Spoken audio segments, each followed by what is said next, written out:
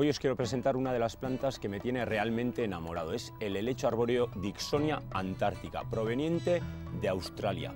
Allá crece en zonas húmedas, protegido de la copa de los árboles y cuando talan los bosques de pinos, estos troncos los suelen cosechar y los suelen vender sin nada de hoja y sin nada de raíz. Simplemente el tronco lo venden, lo exportan con una etiqueta que es el pasaporte de cada uno de esos troncos para que no se puedan llegar a expoliar estos recursos naturales de Australia.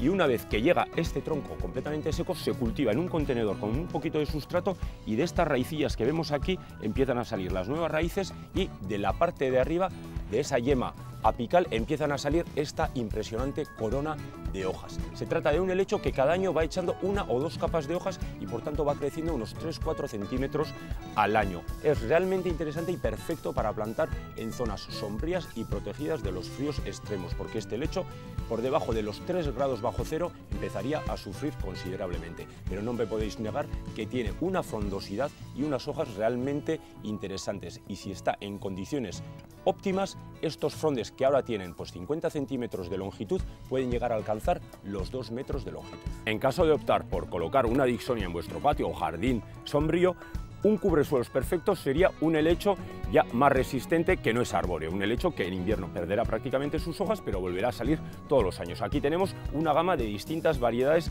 de Dryopteris, que son los más comunes y los que mejor pueden crecer en estas condiciones sombrías. Y contrastando con ese follaje tan interesante que aporta la Dixonia antártica y los helechos, podríamos plantar también una gunera manicata, una planta que va a necesitar mucha pero que mucha humedad en la raíz, en el cepellón de raíces. Normalmente se cultivan junto a estanques y se trata de una planta proveniente de Chile que se caracteriza por tener unas hojas de un tamaño inmenso. Esta es jovencita, pero cuando llega a su madurez, que puede ser al cabo de los 5 o 10 años, estas hojas pueden llegar a alcanzar un diámetro de 2 metros. La tenemos que cultivar con tierras realmente orgánicas y ricas todos los años. Le aportaremos bien de estiércol y eso sí, cuando llegue el invierno todas estas hojas desaparecen. En el centro tiene un pequeño cogollito que lo que se suele hacer con las hojas, según se van secando, se tapa el cogollo para que éste no sufra con la helada. Una planta vivaz, pero realmente espectacular, con un tamaño de hojas descomunal.